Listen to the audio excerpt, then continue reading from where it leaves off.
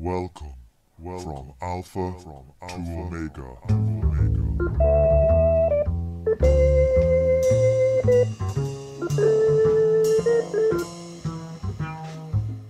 Hello, and welcome to the 76th episode of From Alpha to Omega. Today is Tuesday, the 24th of January 2017, and I'm your host, Tom O'Brien. This week, I'm delighted to welcome back C. Derick the show. Derick last appeared on the show on the Donald Trump election special. I got quite a bit of feedback on that show, with a number of requests to get Derick back on the pod to set him straight on MMT. What starts out as a feisty affair eventually settles down into a Marxist loving, where we end up essentially agreeing about everything and decide to get married. But before all of the romance, first I have a few people to thank. The once off donation of Michael T and all the monthly subscribers. Much appreciated all. Must also thank the new YouTube subscribers Stefan Hamill, Phil Hall, Barney Doherty, Ambrose Andrew, Znalo, Paolo Enrique, Adela Smith, Derick Varn, the man himself, Sherato, the Antichrist ZD, and Eric Silver. Also, if you would like to leave a comment on the show, please try and leave them on the YouTube episode. The Podomatic comments don't notify people if their comments have received any replies. I usually try to reply to people, sometimes at length, but they never get to know about it. So if you want to comment, head over to the YouTube video of the show and leave your comments there instead. I've also decided not to use any copyrighted music on the show anymore, which is a pity, as I love editing in any cool music that I come across. But the problem is, YouTube slap a whole load of ads all over the episode if I do that, and I don't want to ruin it for the listeners or make any extra cash for YouTube off my back. For some reason, the Sun Ra tracks I currently use are so obscure that not even the internet knows about them. So, if you want to comment, head over to YouTube. And of course, please like, subscribe, share, tweet, or leave a review for the show over on iTunes. It really helps spread the word. Okay, to the interview. So, Derick, we last talked on the day, I think, of Donald Trump's election. We did a, a live special with myself, yourself, and Doug. And I got a few requests f- for uh, a show where uh, me and you talk about MMT. The few listeners had uh, given out about you. They said, "Hey, you can't let him just shout down at you." And I, I, I understand that you had a few requests opposite side as well. Yes, to defeat the heretic, so to speak. So, um, yeah, the, the, the general discussion is we needed to actually go into this in some detail and talk about where the differences may be. So I come at this as a Marxist and a value theorist, and I think you're coming at it from a, a, similar point of view, but we don't agree on certain topics. But maybe today we can either get to closely examine where we disagree and let maybe the listeners decide on what they think of those, or maybe we might come to some better understanding of each other. So I suppose what I was hoping to do is probably to start from first principles. I know we, we use the phrase MMT. I kind of like just from now on just kind of call it money. Yeah, so let's start there with with money. Now, money to me is a thing that can take many different forms. I think also historically it looks like that, you know, it doesn't have one simple origin. I would agree.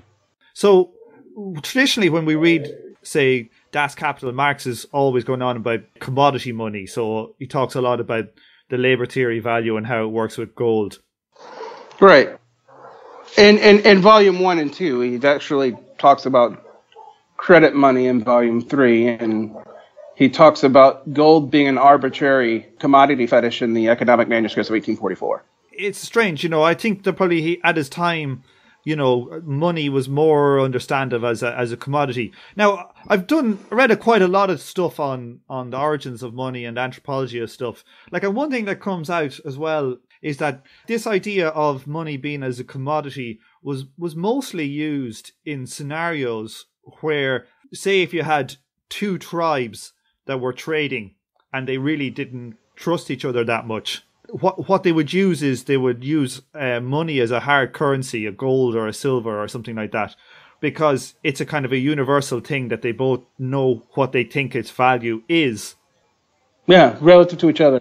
Relative to each other. So, you know, it, it, it, there's a safety there. You're getting your gold. You know, it, it's not like a paper currency where we don't have a shared, say, a large state to do it. So there's like, it's a safety, it's like an insurance mechanism on that transaction. Yeah, yes. And again, I, I don't think there's anything non Marxist about that. If I may, I will read some Marx from our Holy Scripture. This is not this is not fair. You're come prepared. yeah, well, I, I, I'm coming prepared, but I'm not. So far, we are in not we are in disagreement at all. So, as against this, the commodity form and the value relation of the of the products of labor within which it appears have absolutely no connection with the physical nature of the commodity and the material relations arising out of this.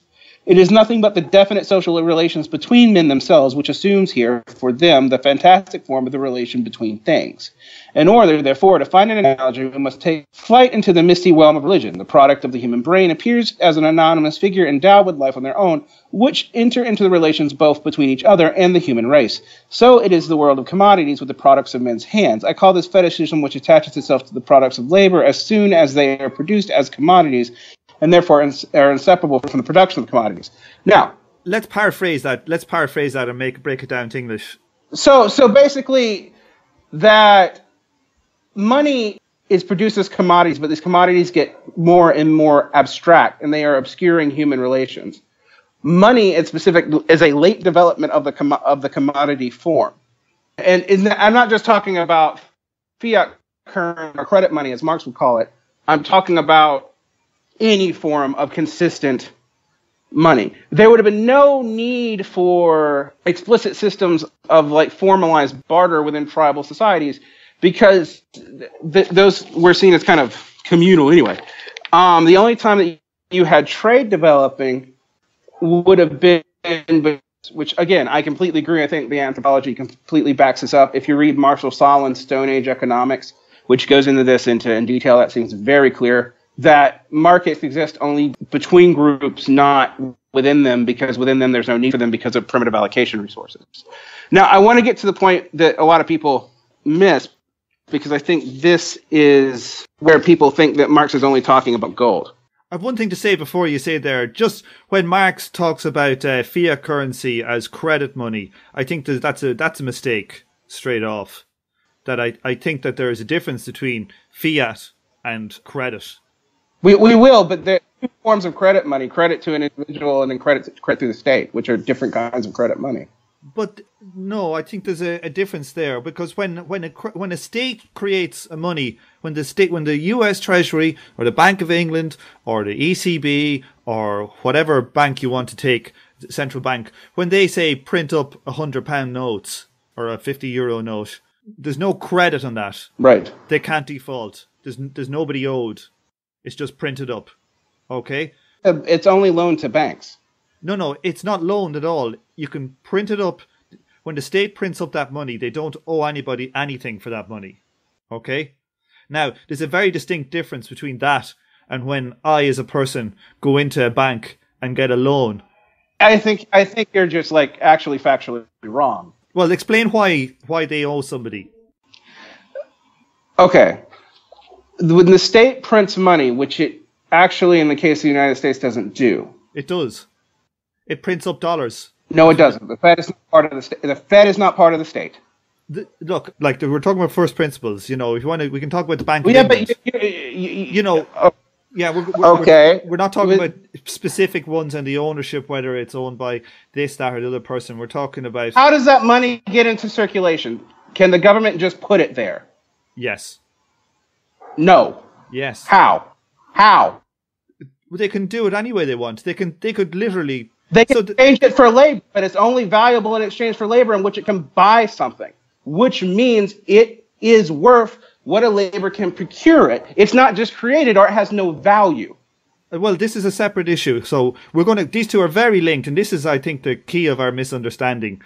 Well, yeah. I mean, if you mean the physical currency, when you talk, and, and this, we need to be very careful here because money has three functions, and which currency, which is the liquidity form, is a function.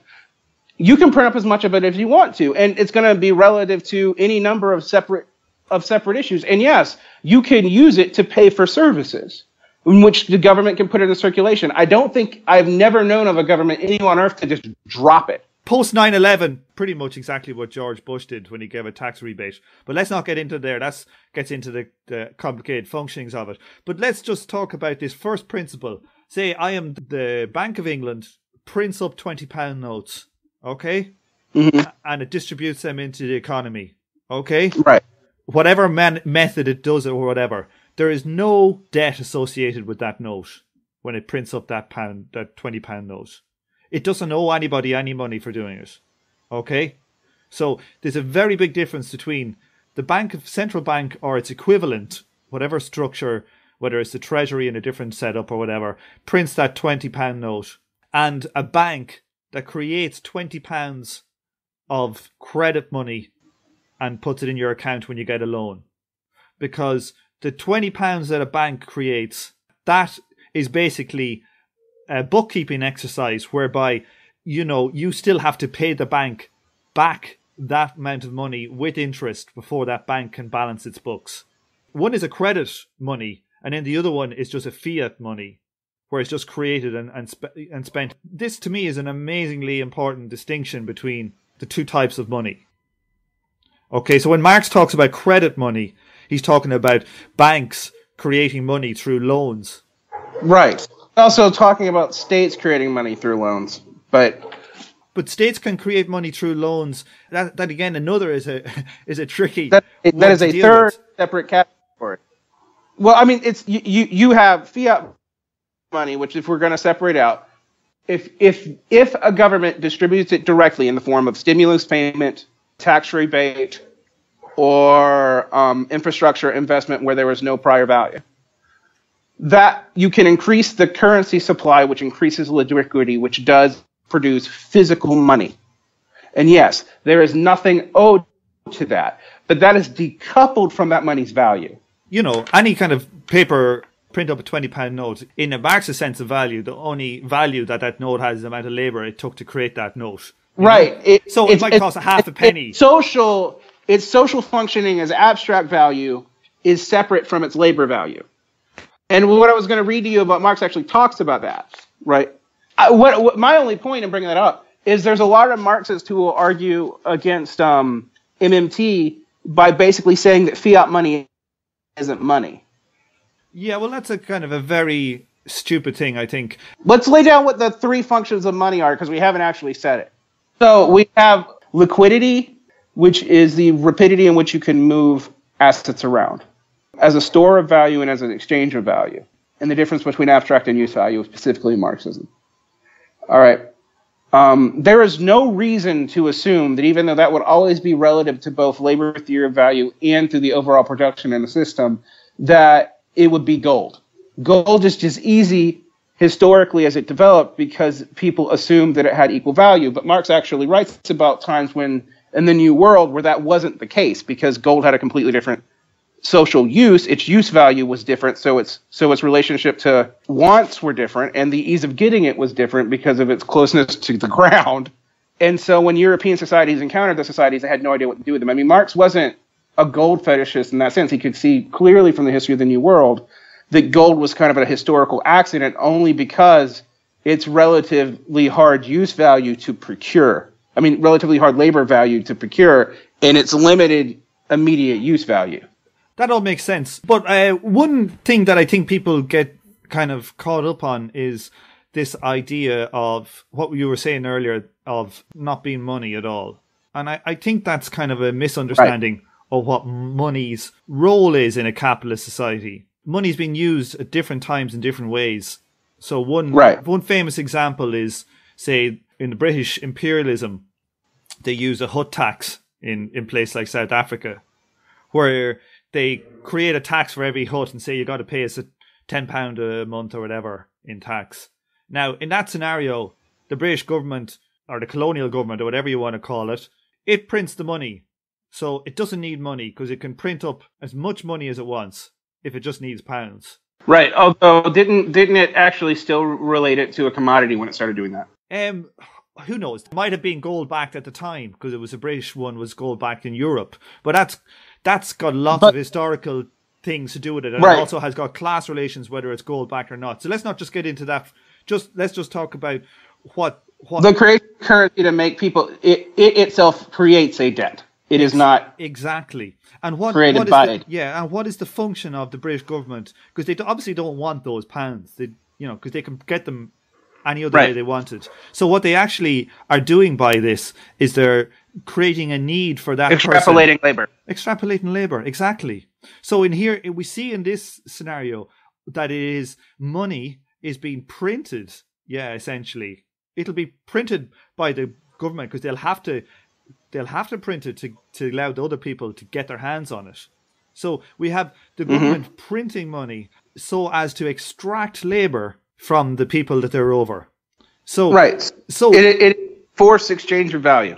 it, it forces well it, it forces labor really is what it does you know Yeah, it, right. it forces that, person force- to, to do Right. what marx would call socially you know useful or whatever labor a labor that the the ruling class thinks is worthy whether it's building a dam or building a railway or whatever the hell it is so in that instance it's social, but it's socially useful for someone else. well, yeah, but yeah, whoever's in charge, you know, whoever runs the society decides what is socially useful.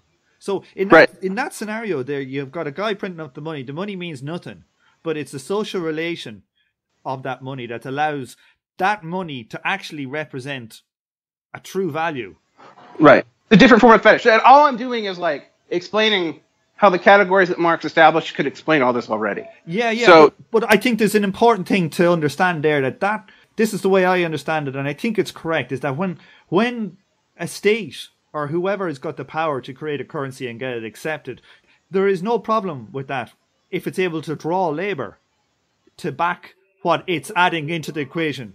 Right. As long as, as long as you exist within an autarkic production situation.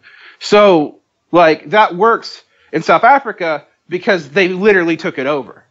Once you are subject to a sovereign nation, you are subject to money within that nation. The, the where where and so like what I was what I agree to, like if you to to talk about the functions of money where where you're right. One, fiat currency is created by the government. It is a form of money in that it represents it creates liquidity. It can be used as a store of value, although it's not always that useful for that. And it has exchange. It is a it is exchangeable for value. So The other thing I would say as well, Derick, is that it's intrinsically linked to the power of the state. You know, and like that power. Like, that's not true. That's only true in that form of money, though. yeah, That's yeah, not true that- for all. I agree. It's not true Okay. for, but like it's not true for a gold coin because you have a gold coin, it's a gold coin.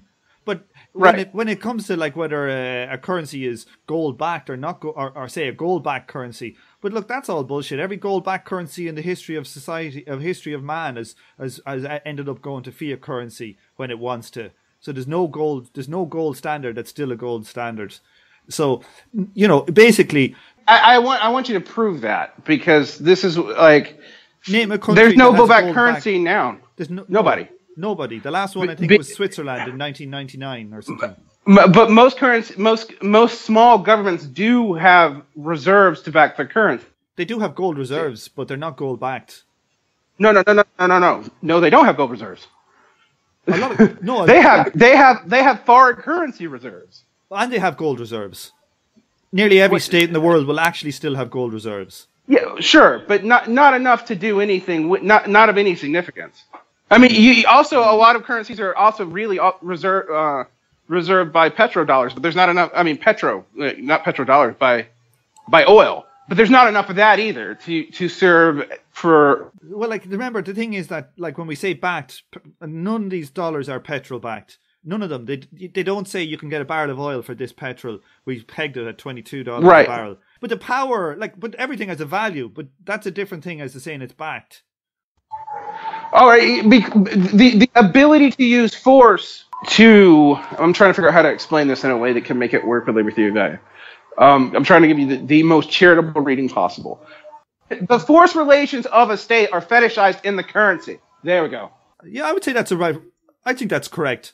I don't know if it's fetishized, but the the the the force relations of it, whatever power that has the ability to print that money, it's not the power that creates the value of the currency, but it's it's the the power of whatever ruling class or state that allows this current this currency as opposed to a different one to draw value. Right. Yeah. So there's a distinction there. But so so when when we come then to say let's look at two different governments. Let's look at say the Greek government or you can take the Irish government say for example who are using who are using the euro and they don't have fiat power over the euro.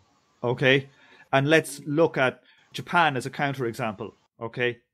And Japan have, you know, what is it now? I don't know, but is it 250% of GDP of government debt? And you've got a place like Ireland where they've got 90% or whatever. Look at the price of their government bonds. In Japan, the government bond is essentially at 0% interest, right? And in Ireland, when it spiked, it went up to, I don't know what actually it went up to in Ireland, like 7 or 8, 10%. Right. And, and what we see here is that one country gave up its power to control the currency when it went into the euro. So it can't print its money when it wants. It can't set the price, set their own interest rate. It can't make their own government bonds in their own currency. And one can. Yeah. So when we see that when you can, everybody knows Japan can never default because they can print up, they can just buy the currency, they can buy the debt. The debt is really, in effect, just a type of a currency with a bit of an interest rate on it. It's like saying a hundred dollar note with a one percent interest coupon. That's what a government debt is, and when you've got a fiat society. So we see in the real world very, very different outcomes for countries that maintain this financial power, whatever Yeah. way you want to describe it. But, but both are low growth, but what one has to offset, uh, offset austerity measures more than the other. It actually is irrelevant to, to some claims by MMT because the, the claim is the power of the state can force value into the system by forcing production and can do so at zero interest as a natural as a natural inclination and by doing that it can create perpetual full employment Yes, and I think that's correct. I think that's bullshit. Well, There's no example of it on Earth. there has been lots of No, it hasn't. There's never done. been one that's lasted for more than a year. I can go through every single example you've ever given and tell you where it died out after 10 years. And not because of exchange of monetary policy. okay, Because well, there's a limit to how much productive value there is there. And this is why MMT is wrong. no, well, let's listen. Let's, let no, well, let's let, let's calm down now and let's think about it. Right? Let's say you've got a company, a country that has. Um, What you haven't explained is how international trade works. You've assumed wait that, that the entire world works on a government government autocracy. I'm not calming down. You're wrong. Like No, there's, there's like five there's like five hidden assumptions because what I did is agreed to you in three premises and then we accelerated to three more. And what I'm trying to tell you is I agree with fiat currency is a thing. I think it developed out of credit currency. Um, I think that's an objective fact. I agree with you when I really think about it. It is not the same thing as credit currency because it can be injected directly. It creates debt. Again, we agree with that too. What fiat currency? Well, no, no. I, I think that that's I don't. Fiat currency doesn't create debt. Like It cre- it, well, can, it, can, it can create a government debt, which is not really a debt. But MMT's claim that its ability to enforce to force a currency is based on the power of taxation, which is a debt. Is it not? Yes, but it, like what we're saying here is that say if a, if the U.S. government borrows money in dollars, it's not really a debt. It's a way. It's the equivalent of printing money and spending it into the economy. It's the equivalent action. But if a U.S. government or say the Irish government borrowed euros, then that's a proper debt because we can't, we don't have control over the euros. So we have to get those euros in trade. So there's a, a distinct difference between those two actions. Okay, but But you, but you're still. I, I want to hear your, your your theory of how this works internationally because I, I actually. let's before we get kind of all caught up in the international, let's just talk a little bit, just step back one tiny bit to first principles. All right. Now, what's the unemployment rate say in the U.S. right now? About the true one or the book one? The book one's about five. The true one's about ten. Yeah, well, let's say it's 10%, okay, for ease of use. Now, in the morning, the US government no problems if it wanted to, could pay all those people. It could come up with a series of works that it wanted done, and it could pay those people a decent wage and just print that money. And once those people in the US were creating things that the society deemed were of value, and by the society we usually mean the ruling people who who choose what's valuable. Why does hyperinflation ever happen in any state? Yeah, well, hyperinflation happens, well, usually when the power of the government in question has come basically under scrutiny and people stop believing in that power. That's normally what happens. Usually that happens post war. The logical implication of this, one, is that the economy can be managed in perpetuity at full employment by the power by, by the power of the state, which is basically by the power of arms. You don't believe in labor theory of value anymore if you believe that. I do believe in the labor theory of value. How?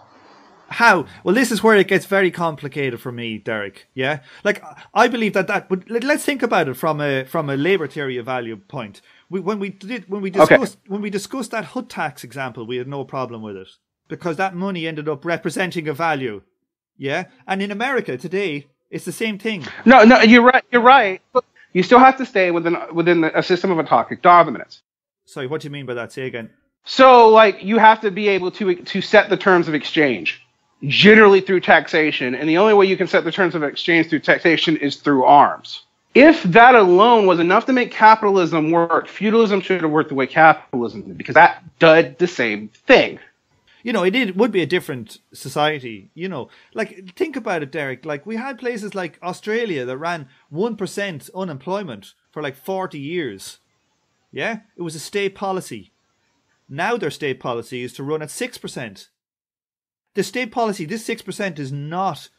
There's no underlying real reason for it. That six percent, and the same that it represents in Europe or in in whatever that percentage is taken that represents a decision. This is the way I understand it. It represents a decision by the, the ruling class to determine what the power of the working class is going to be. I, I think that's false. I think it represents what they have to do in an international market where their autocratic values don't matter.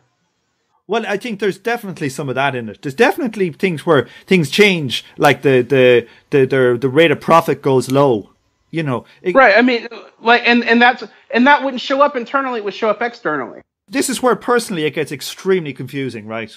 So let me just lay that out there. Well i mean this, this, this is where like this is actually the issue of debate because i will grant you all three all three of the initial conditions that you've given and i will even correct myself on stating that fiat money is a form of credit money even though I do think it has a relationship to debt in one direction or the other. It, you're right, it can just be created. Its creation, its, its creation is dependent on the value that it can be s- said to have by, the, by being forced to pay in it. Yeah, and the labor it brings forth, because I think that's an amazing point. Right. That it actually, this relation gets people to do work. It coerces people to do shit. Right, you're completely right. And it does so by what we, in Marxists talk fetishization, because it, it it hides the character of the relationship. All right, and this is this is why it's different from feudalism because in feudalism there's nothing hides the fact that your wealth is being extrapol- extrapolated from you. And to be fair, I normally don't like Maoists, but Maoists actually have done good work on this. So the people who talked about um, partial primitive accumulation continuing in imperial in, in imperial development, you know, and MMTers have talked a little bit about it too because it's relevant to their theory of money creation. Now, we have also granted, though, that most MMTers don't, that this is not the only possible form of money. No, there are different types. Right. We have also granted this is where things get confusing. And this is where I think the limit to MMT as a way to fix capitalism is why you can't just advocate for it as a fixed capitalism. Yeah, like I don't know if it's going to fix capitalism, but you see, if we talk about what a, how a Marxist understands credit money, okay, and I think they're right in how they understand credit money. Okay, that say somebody mm-hmm. like Andrew Kliman will say that credit money is able to disguise the underlying problems of the value. So when we keep, when the banks keep on creating credit money for people to buy houses, and there's a housing bubble, and they keep pumping money into there, that this will actually disguise what really the true value of that house is in in or in Dublin or in Cork or wherever in the country. It's the banks throwing this money at it, and then suddenly something will happen elsewhere in the economy, and people will come to the realization that Jesus, those houses and estates they built up on the side of that mountain in County Leitrim, they're you know they're worthless. No one is ever mm. going to live there, and that what happened there is that the credit money that was created there, that's never now going to get the labour. Too much of it was created. It's never going to have the labour draw the value to to back it in the right way. Right. That that, that It has neither abstract value or use value once it has. yeah, it, it goes down, and then basically that that thing is it's got it's worth an awful lot less. Whether its use value goes down or and its abstract value goes down, whatever the hell, it's totally functions like that. So like we see the Right. 2008 crisis, all this credit money, people just realized actually, you know, that was a charade. That that'll never be worth what we what what the market was saying it was worth at that point. So, okay, there's a couple of things here that you're right. So we got that. And then fiat money isn't the same. It's not the same. But fiat money, at least in the case of China, did something very similar. In that it created a whole lot of stuff that couldn't be used for whatever reason. Some of it actually isn't China's own internal policy. I don't. That's that's a completely different question. And I'm neither pro nor anti-China, particularly as a capitalist power, but it does have an internal passport system. But it created all these buildings, and then a lot of them could not be used. So the productive capacity began to die down. Now you can say, okay, that this is that is a problem of misuse of policy, which somebody like I think Minsky would probably say. Are we agreeing still? Yeah, I think it's undeniably a misuse, you know. But like, Right. Yeah. Right. I mean, but someone like Wray would say that that that just the, the the currency being injected into the system should should fix that. And I think someone like Minsky, again, a very similar figure to MMT, would actually disagree. So I'm I'm bringing this up because I don't even think MMT is clear, uh, has a consensus within itself in, in neo Keynesian economics about what happens when that happens with fiat currency. All right. And the, the historical examples that I've read about, Japan, Brazil, Turkey, and Japan and China, they actually all do different things. Chi- China has an acceleration and then a slowdown. Japan has a slowdown but does maintain fairly high employment levels compared to its economic growth. And uh, Brazil actually loses value somehow. I'm, and I'm still trying to figure that out. Like I was just looking at raw numbers. What I would say is when you get looking at the all these different countries and all the, all the, and trying to compare them, remember that is such a complex system that there are all so many different things happening at the same time. You know, there's balance of payments crisis, currency different, you know, there's so many things going on. It's very hard to to take out that noise, you know, about what the effect of that thing is. But what's undeniable is that any country, any any government in the world can maintain full employment if they want to, if they control their currency. To me, that's just undeniable. Right? Now, whether that country will get richer or poorer or how it'll do in international trade is it's kind of like another separate thing. Okay. So so so so what we are granting then is one element of MMT and not another. So you are granting that full employment can be procured by by liquidity. Basically by having enough stuff constantly moving in the system, there's got to be people doing stuff. Print money, whatever, government debt, spend it into the economy. It creates bus- you know businesses which may or may not create jobs, but it all keeps money flowing. That someone's got either employment or a shop. Okay, we got that. But what we are saying separately is the wealth of that country could go up or down based on something else, Of course it could, yeah. Which would be its relative in, to international value. Okay, so breaking down this is actually where my difference with MMT I don't know if it's my difference with you. This is my this is when I was coming at you with MMT.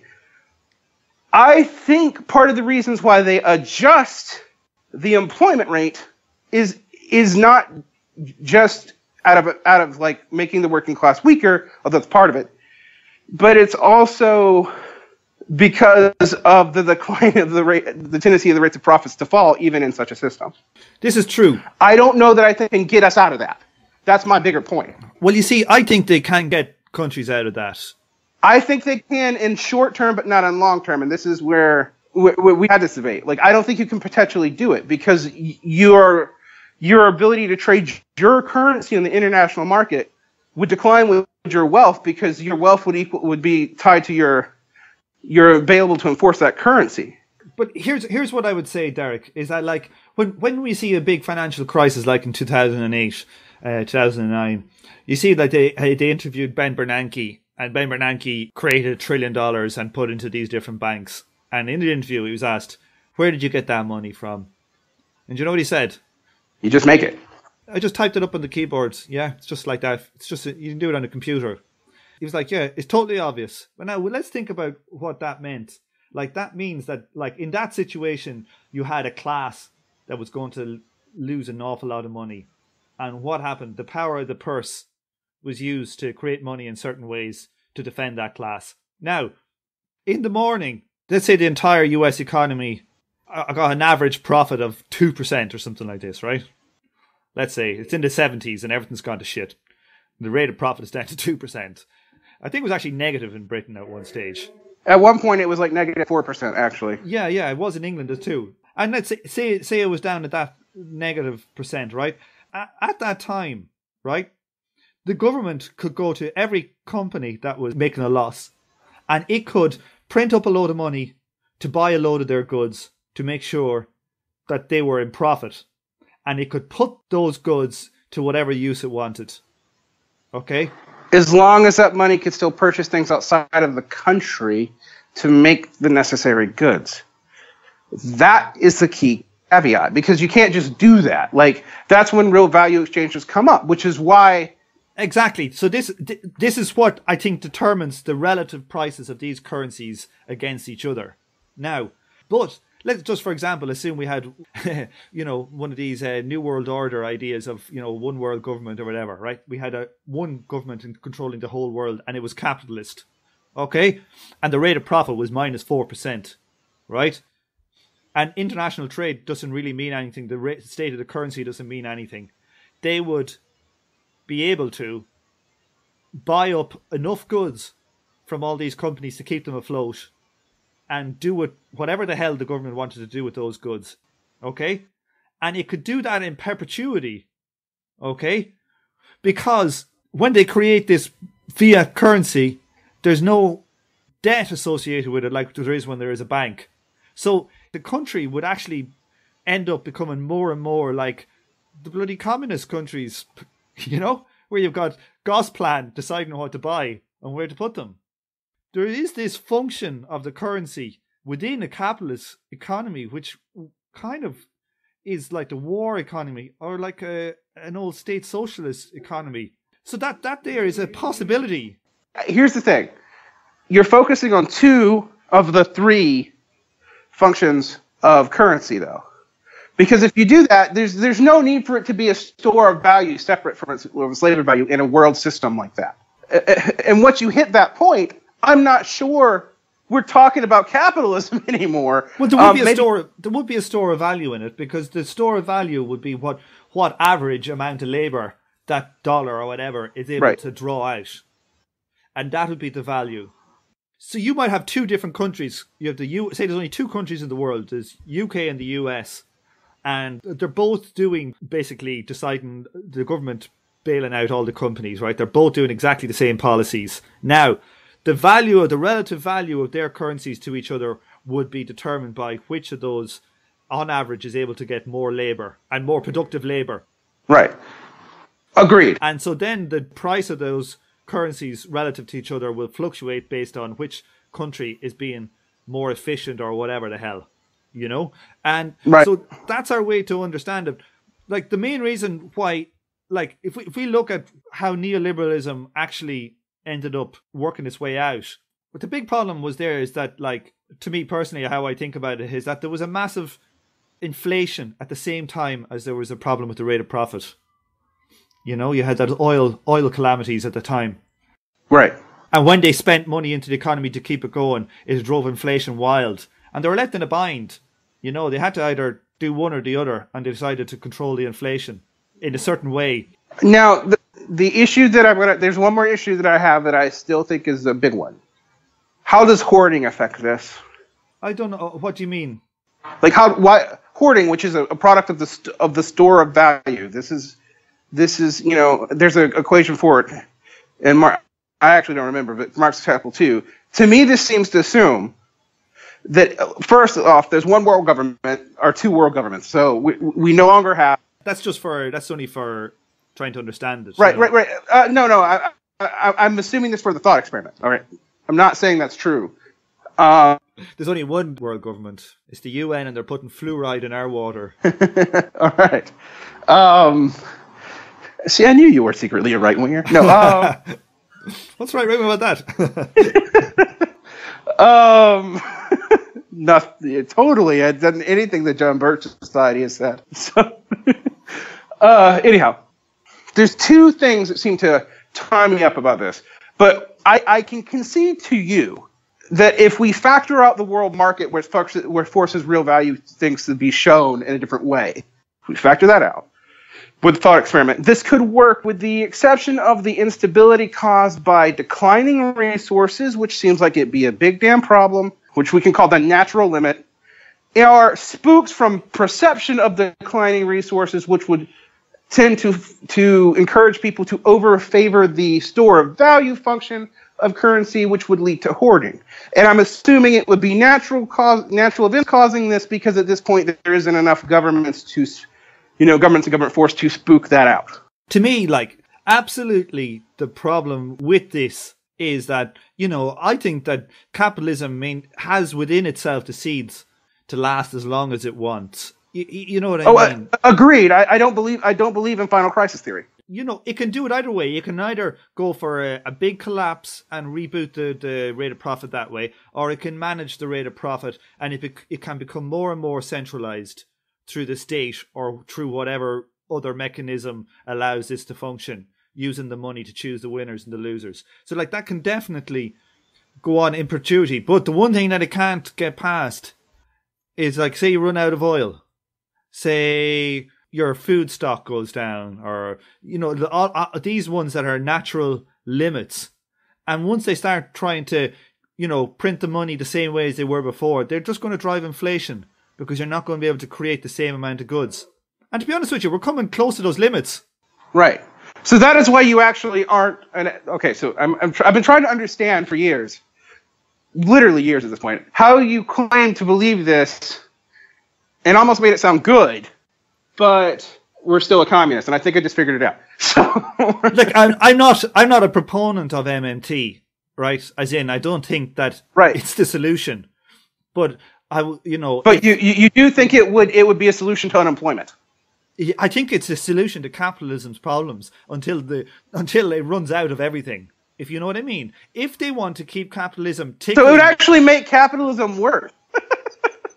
well, Go ahead. Yeah, like you know, it'll probably lead to capitalism not being as productive. I would imagine, because the one thing that you know that the free market does is it drives productivity. But you can imagine if you're just picking win, if you're just all these kind of failing companies and you're buying them and you're keeping them in business, it's going to remove some of that drive to remain competitive. So it would probably lead to capitalism stagnating, not being as productive as it would be if it if it let if it didn't do these, you know. So I think that we're trying to understand it from a, how the system actually can work and does work under crisis, because every country un, under war conditions goes full on MMT, yeah, and Agreed. afterwards afterwards they turn it off because you know when people realize actual how it works, people realize oh we could do it, we could actually use this in a positive light, you know, to change our world. You know, it could be used that way, you know,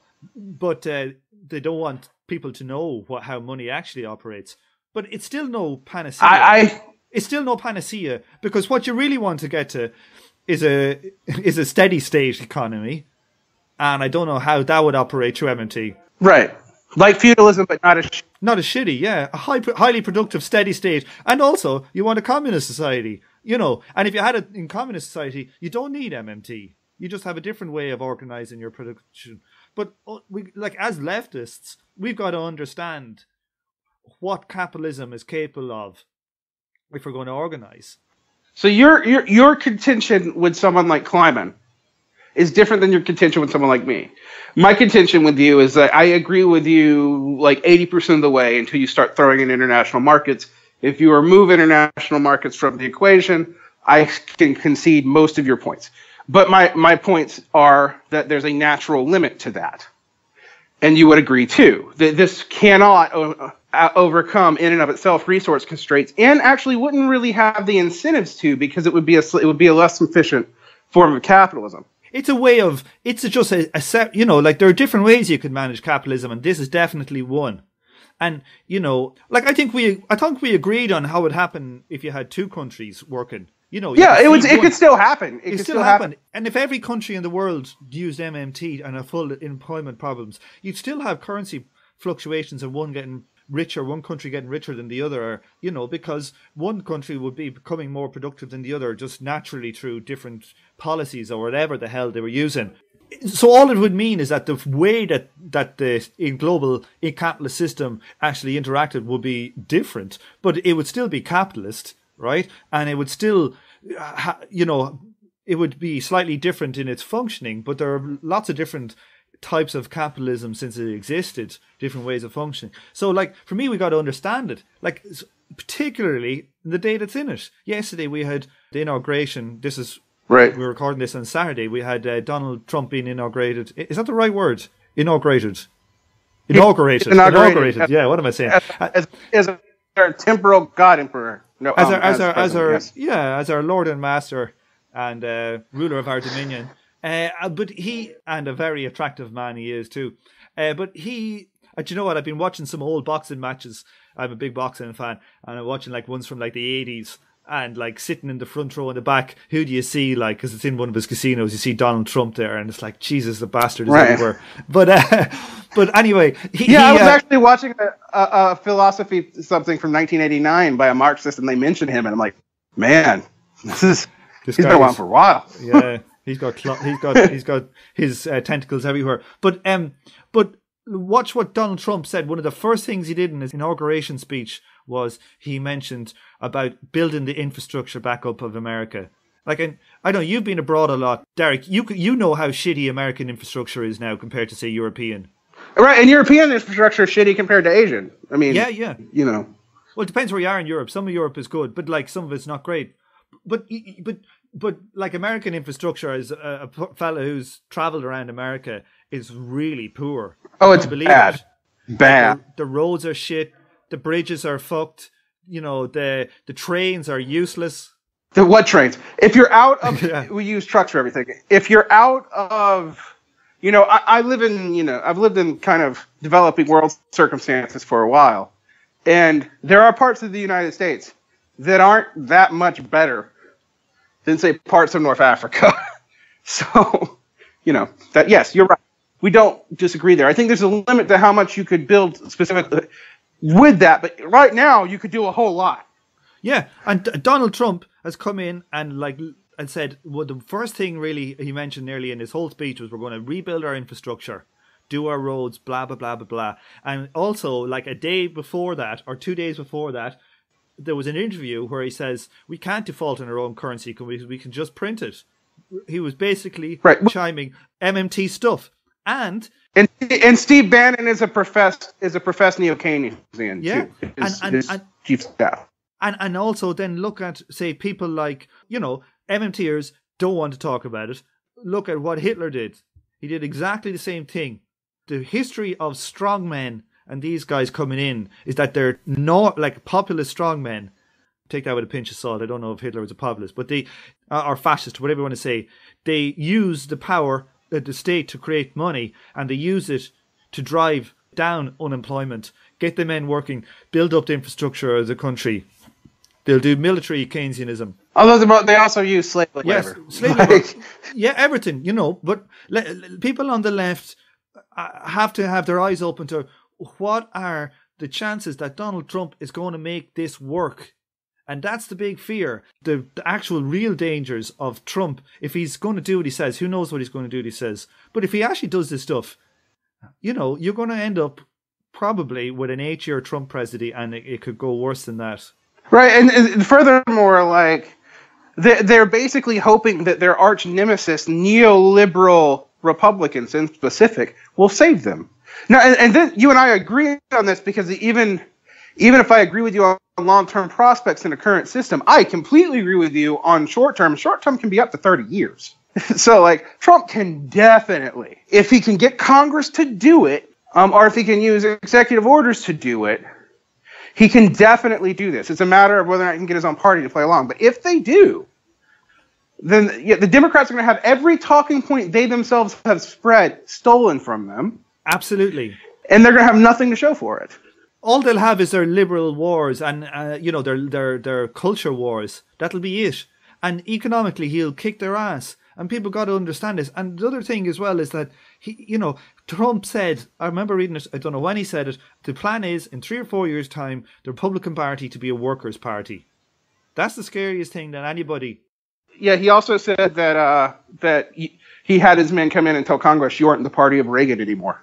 I think that he'll be able to get Congress, certainly Republican Congress, around the side because remember, all these all these congressmen represent usually different parts of capital, whether they're financial this or oil that.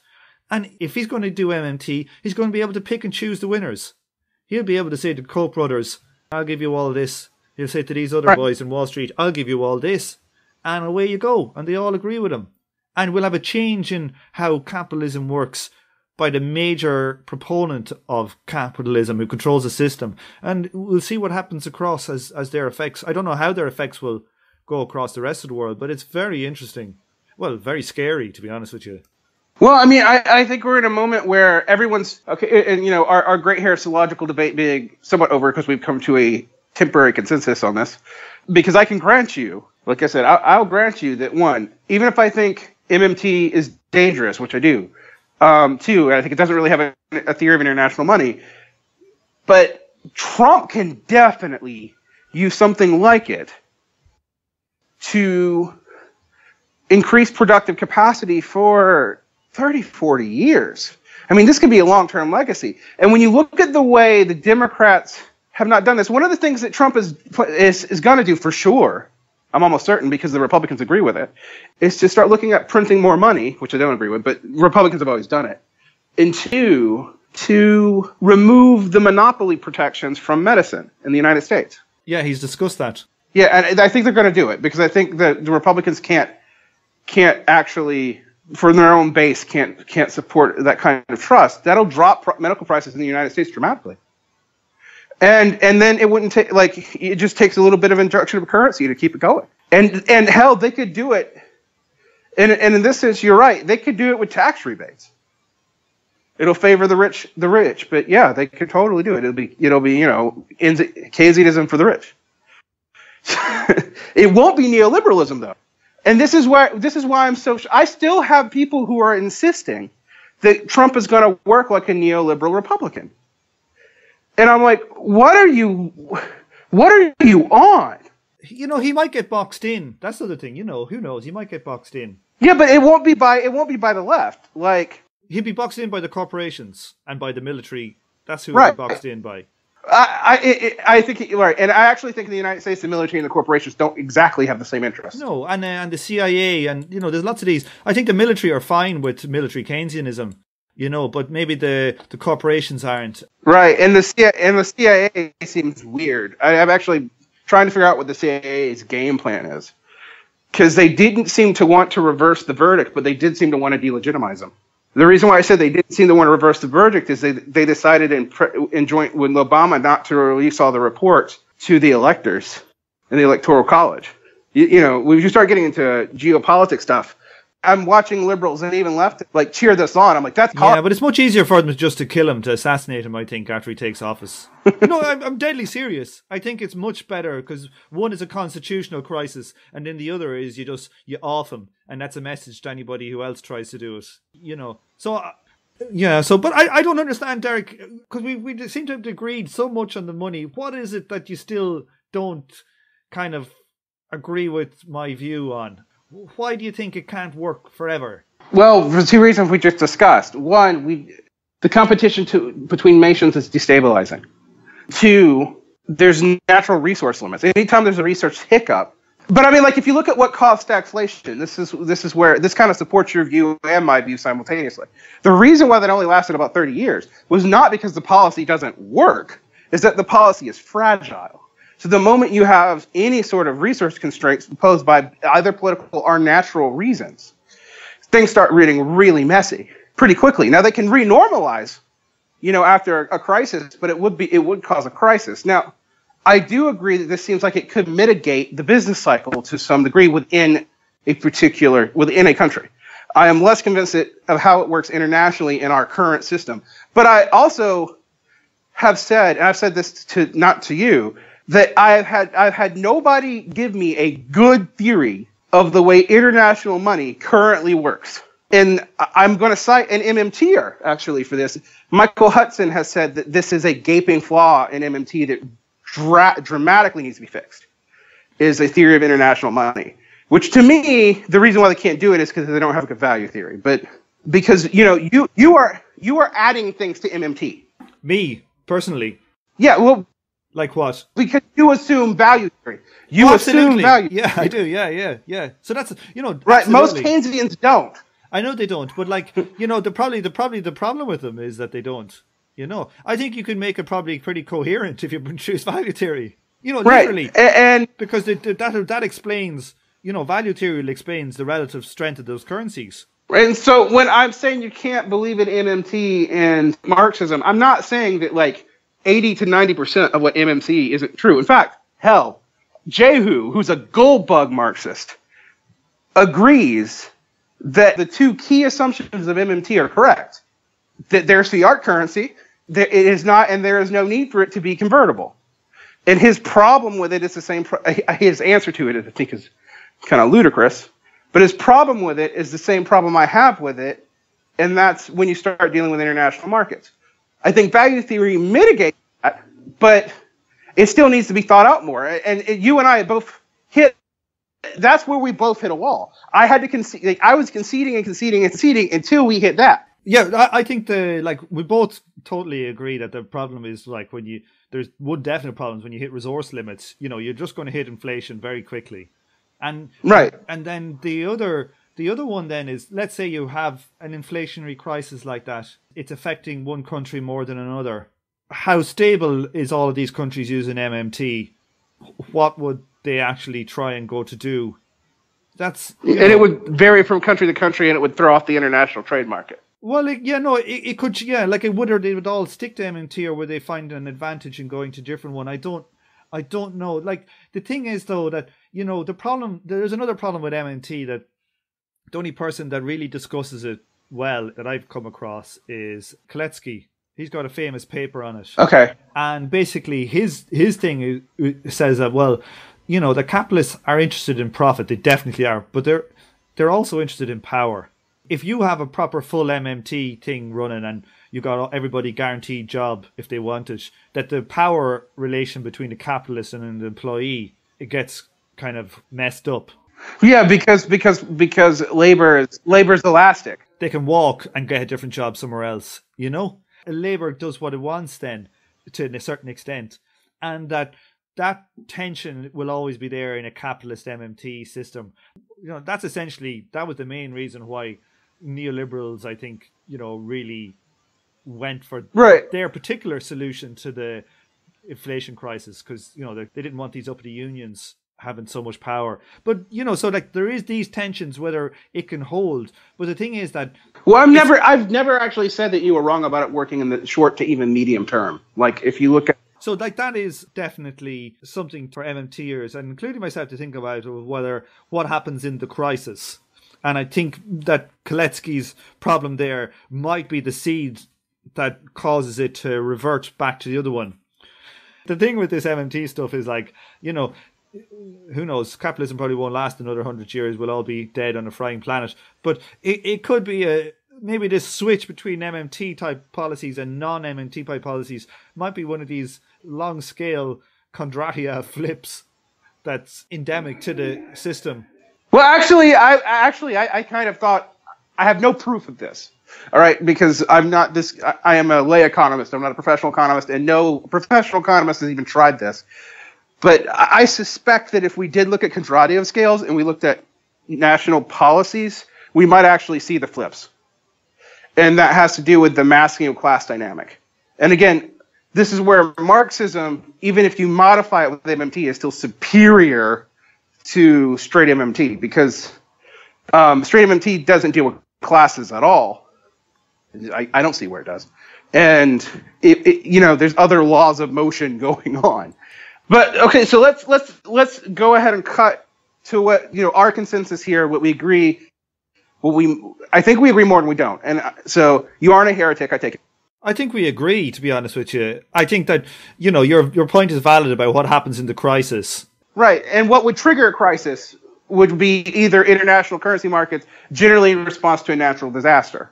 Yeah, some kind of inflationary inflationary problem, oil or gas or whatever the hell.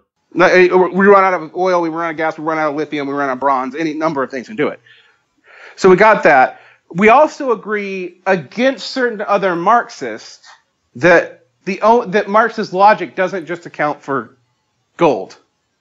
Because if it if if if it does, like certain people say, uh, Ernest Mandel, a lot of Trotskyists, then it's objectively wrong.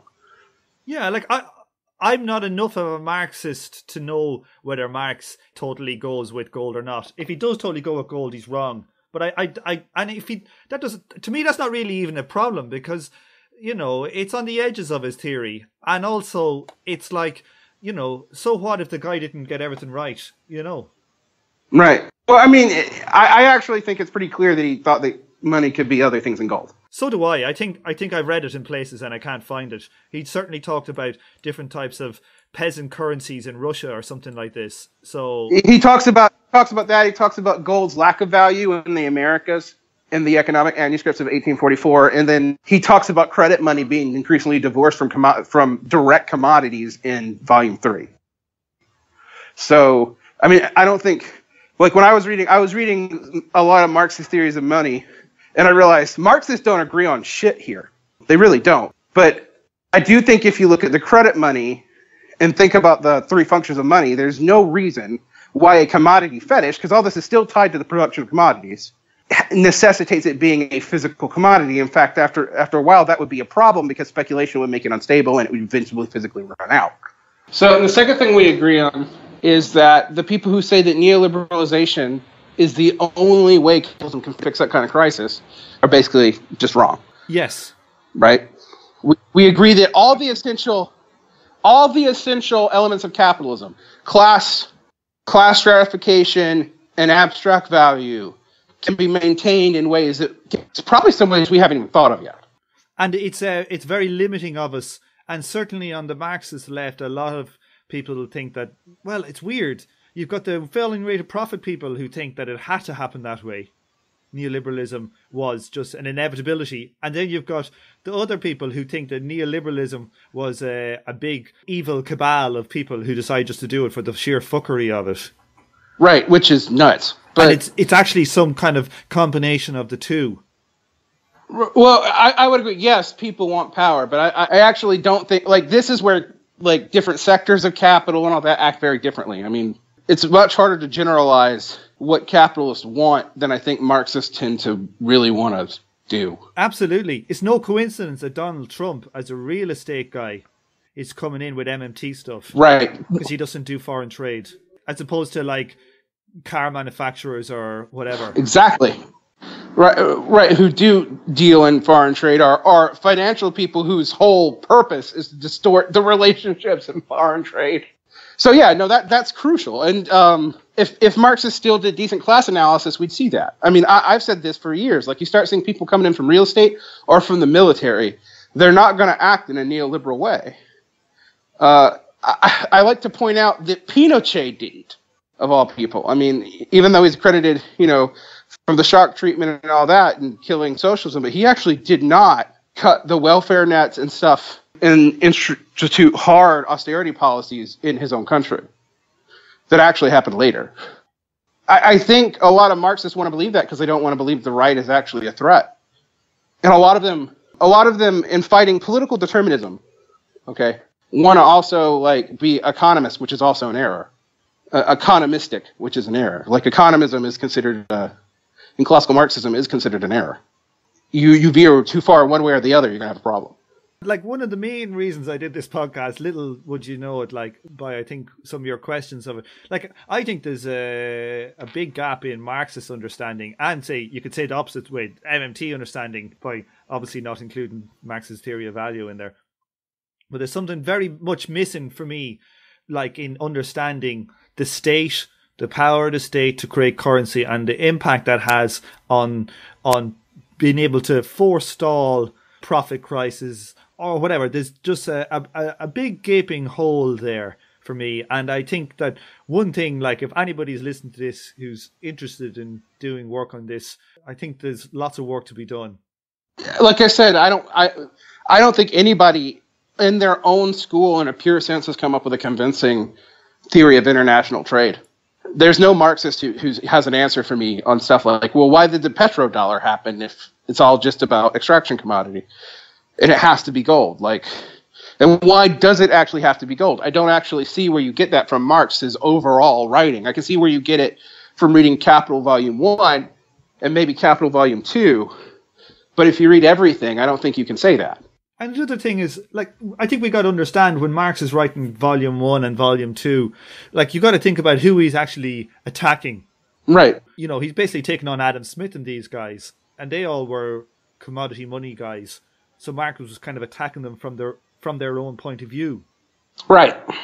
I mean, he's not dealing with neo-chartalism uh, or French absolutism. He's dealing with something very specific to Britain in a very specific time, even, which is the 17. Like his his whole thing is the time period of Adam Smith up to his own day, and Marxists have a bad habit of pretending that the the economic analysis and class analysis stops when Marx or Lenin or whoever they particularly like the most stopped writing. I mean, it's a that's a serious problem. I, it's one of the reasons why I like the work of Andrew Kliman in that, and even in some ways don't like the work of Paul Sweezy, even though I disagree with it, because they didn't just assume that you could proof text Marx and just win. You actually had to look at some empirical things. Now, how they got their data and how they justified it were different, but that's a different podcast. Well, I think we've bit the arse on this dog. I think. In, short, I take back. You're not a heretic. If you told me that you thought MMT was a good thing, I was gonna have to kick you out of the communist movement by fiat. by fiat. yeah, just like uh, by ex cathedra, just like as Pope of Marxism, you are gone.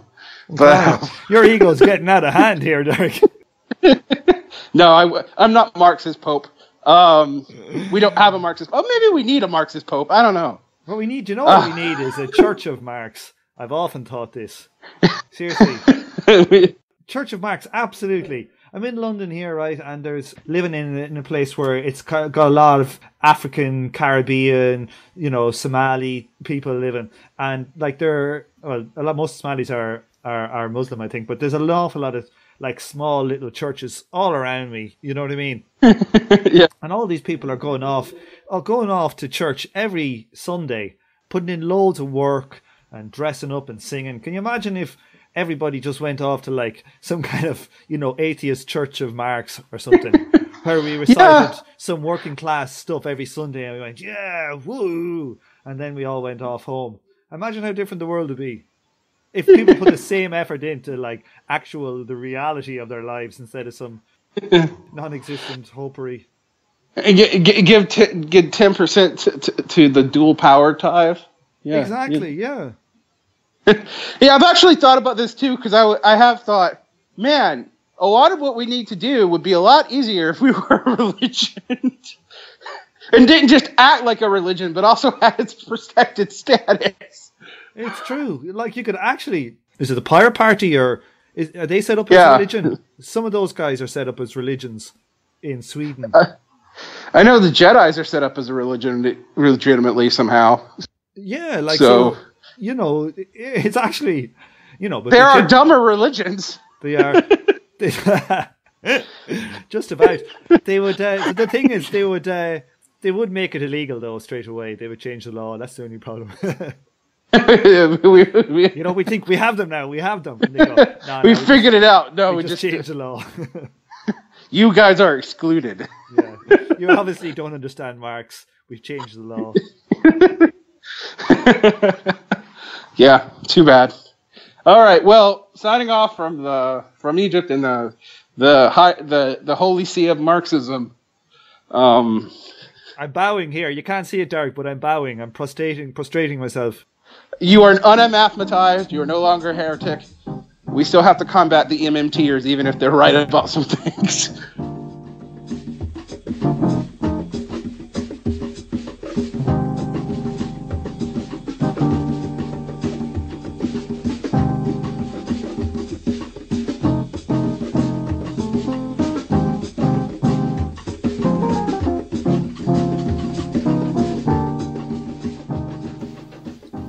On this episode, you heard the theme tune, The Order of the Pharaonic Jesters by Sun Ra and his Arkestra, and you are now listening to another Sun Ra track, song number one. Thanks for listening, and I hope you join me for the next episode of From Alpha to Omega.